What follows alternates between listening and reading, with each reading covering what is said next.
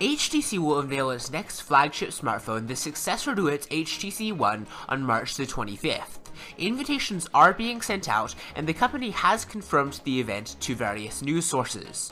As with last year's event, it will be held in New York and London, with New York designated as the main site. Now, the features of the HTC One 2 are supposedly going to be a 5-inch Full HD screen display, a 2.3 quad-core Snapdragon 800 processor, 2GB of RAM, 16GB and 32GB of internal storage, micro SD slot for expandable storage, a 2900 mAh battery, Android 4.4 KitKat, and Sense 6 UI.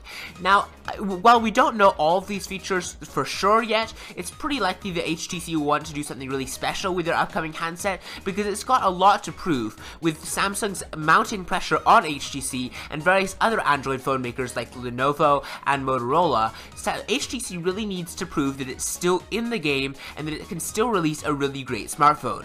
The HTC One was really renowned for its great design, so it might make sense for HTC to really zero in on design for the HTC One 2 as well. If they pack in a larger screen display and a metal casing, that would be quite a nice look for the HTC One 2, and sometimes it's really looks that count when it comes to smartphones. Now, as far as operating system, that's another way where another place where HTC has the chance to shine.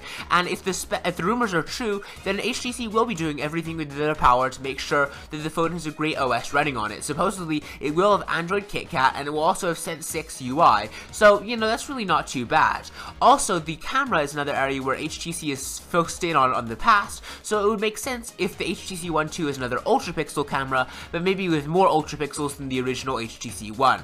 But let me know what you want to see in the HTC One 2 in the comments below. Let me know whether you're going to be getting the HTC One 2 when it releases on March the 25th. Please be sure to like and subscribe if you enjoyed this video, and I will see you next time. Bye!